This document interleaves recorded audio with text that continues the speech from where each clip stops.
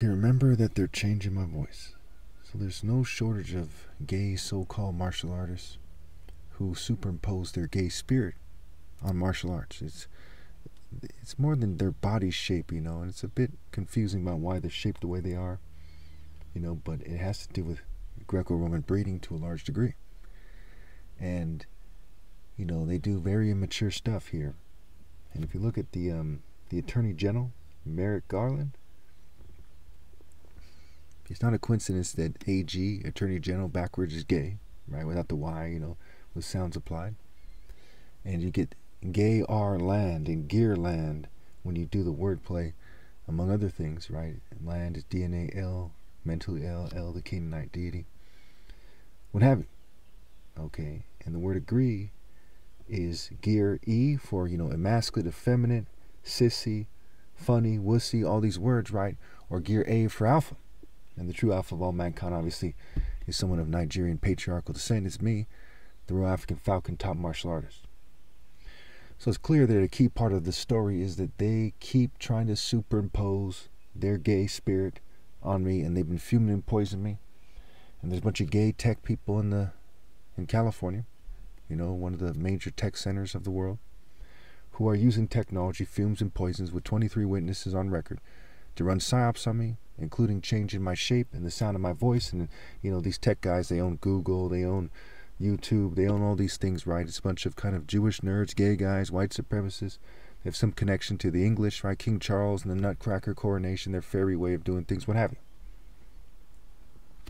And so I think, you know, everyone who's like a serious person, um, or, or close to it, right? You know, can only be so serious while playing the game, but a lot of people try to be more serious. They know that I'm right. Every serious gangster, uh, gangster in um, California would immediately know that I'm right. Every serious gangster in America would immediately know that I'm right. People in the military, if they're being honest, especially in military science departments, would immediately know that I'm right. So it's not like this is crazy. They know that I'm right. This is 2024. If anyone doubts it, say, look, it's 2024. You're like schizophrenic or psychotic or something if you refuse to admit the possibility. Then when you get the 23 witnesses on record, it's like, well, this guy's must be telling the truth, right? So it's fucking retarded for them to just keep doing what they're doing to no avail. And they make this kind of rapist, pedophile, clown face. They make William Gacy the serial killer faces. They make kind of Mad TV faces, Ronald McDonald faces. And they think it's cute why kids are getting raped, you know, disproportionately by the gay community. And I'm not trying to bash the gay community in this video, but certainly they're not, my, they're not on my side and I'm not on their side. Okay? But it doesn't mean they should be persecuting me. I'll never understand why they, they as a community they won't rally and admit that they've done wrong here. Why they'd rather accept the disgrace of playing a key part in persecuting me. The English, the Germans, know, people of German descent rather, uh, Americans, um, the churches, the mosques, the synagogues, they, they all played really more the mosques and the excuse me, the, really more the synagogues and the churches. the gay community, they all played a huge part in persecuting the LGBT community in general. Huge part, military, what have you. Certain groups were, were disproportionately involved. You know, psychologists. And so when you look at that, right, and you look at the pictures on the screen, yes, the gay person couldn't possibly be the top martial artist any more than the white or the Jew.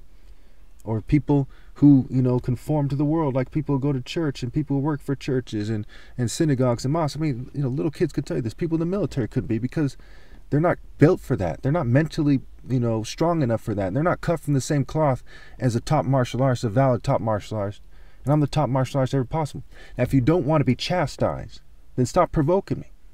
Stop doing things that have to do with military grade provocations, military grade psychology, military grade psychological provocations. You know, it's very immature. It's very pathetic. And even little girls, if they saw this video, they would believe me. And they say, why don't those people fucking grow up? And they're represented for their races and the LGBT community. It's fucking disgraceful. It's, it's pitiful. You know? You imagine you're a serious Nigerian man, okay, the son of, you know, or, or second generation Nigerian mulatto.